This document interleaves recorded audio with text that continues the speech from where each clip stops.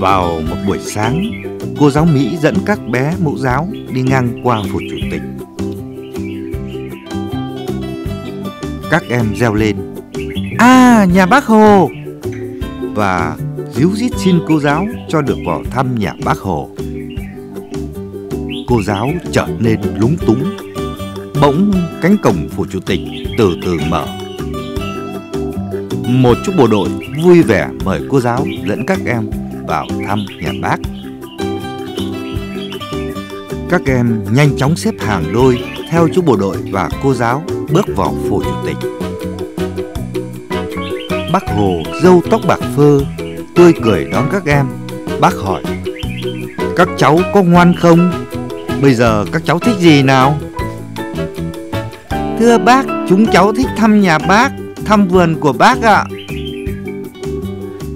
Bác dắt tay hai em bé nhất Rồi dẫn các em ra vườn Xem hai cây vú sữa miền Nam bác trồng Và thăm ao cá bác nuôi Bác dặn các em phải ngoan ngoãn sạch sẽ, vâng lời cô giáo. Đã đến giờ bác tiếp khách, cô giáo xin phép bác cho các em về.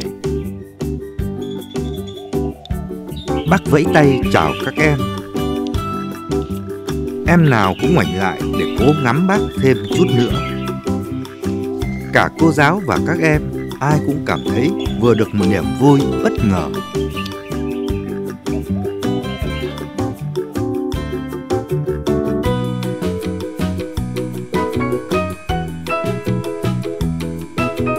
Cô giáo Mỹ dẫn các bạn nhỏ đi đâu?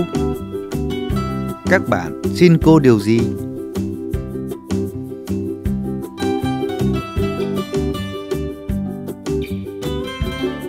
Ai mời cô giáo và các bạn vào thăm nhà bác?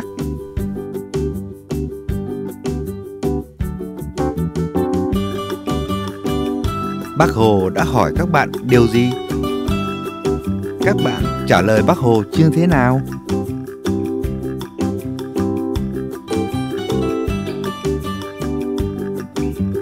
Bác dẫn các bạn đi thăm nơi nào? Hãy nhắc lại lời bác dặn các bạn.